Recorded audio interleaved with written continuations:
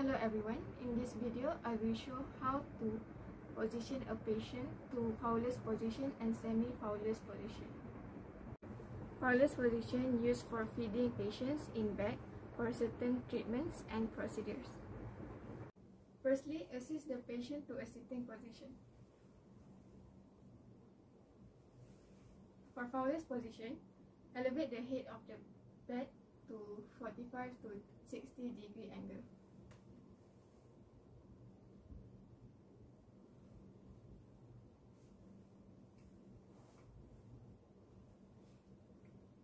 For semi-Fowler's position, elevate the head of the bed to 30 degree angle.